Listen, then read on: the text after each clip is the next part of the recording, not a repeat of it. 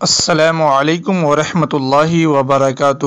دوستو، آج کی اس ویڈیو میں ایک اہم پیغام آپ کی خدمت میں ہم پیش کرنے جا رہے ہیں، جو یہ ہے کہ بابری مسجد کا مقدمہ کا فیصلہ کب آئے گا۔ جی ہاں بابری مسجد کا فیصلہ کب آئے گا؟ آج ہر دن، ہر صبح، ہر شام، ہر وقت یہی سننے کو ملتا ہے کہ اب فیصلہ آنے والا ہے، اب فیصلہ آنے والا ہے۔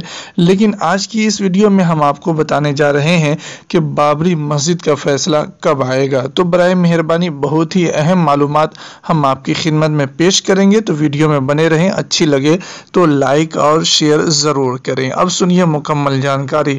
روزانہ سوشل میڈیا پر پیغامات آتے ہیں کہ کل بابری مسجد کا فیصلہ آنے کی امید ہے، لیکن یہ کل کب آئے گا؟ سوائے اس معاملے کی سماعت کرنے والے پانچ رکنی آئینی بینچ کے کسی کو بھی نہیں معلوم ہے۔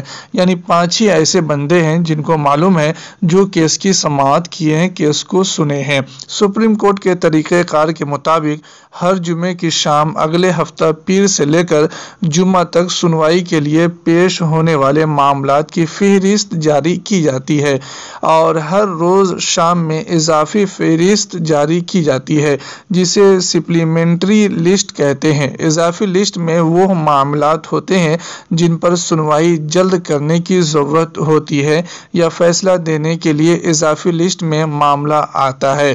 بابری مسجد کا معاملہ ابھی تک نہ تو ہفتہ واری لسٹ میں آیا ہے اور نہ ہی اضافی لسٹ میں آیا ہے۔ لہٰذا افواہوں پر دھیان دینے کی ضرورت نہیں ہے۔ بغیر لسٹ میں آئے کوئی بھی معاملہ سماعت یا فیصلہ کے لیے پیش نہیں ہو سکتا۔ لہٰذا جب بھی عدالت اپنا فیصلہ سنائے گی، ایک دن قبل فریقین کے اقلا کو بذریعہ نوٹس موبائل پیغام آگاہ کیا جاتا ہے۔ البتہ یہ ضروری ہے کہ اٹھارہ نومبر تک فیصلہ آ جائے گا، کیونکہ موجودہ چیف جسٹس کی میعاد تب تک ہی رہی ہے، تب تک ہی ہے۔ یعنی اٹھارہ نومبر تک ہی یہ جو ابھی چیف جسٹس ہیں، ان کی میعاد اتنا ہی تک ہے۔ اور اگر موجودہ چیف جسٹس فیصلہ دیے بغیر ریٹائر ہو گئے، تو معاملے کی سماعت پھر سے ہوگی۔ فریقین کو دوبارہ بحث کرنی پڑے جائے گی لیکن بابری مسجد معاملہ میں ایسے ہونے کے امکانات بہت کم ہے کہ بغیر فیصلہ کیے ہوئے وہ جو ہے چیف جسٹس ریٹائر ہو جائیں، کہ وہ موجودہ چیف جسٹس رنجن گگوئی فیصلہ دیے بغیر ریٹائر نہیں ہو سکتے۔ انہوں نے پورا مڈ بنا لیا ہے کہ فیصلہ دے ہی کے ریٹائر ہونا ہے۔ اب یہ خبر کب کی ہے، یہ بھی ہم آپ کو بتا دیتے ہیں۔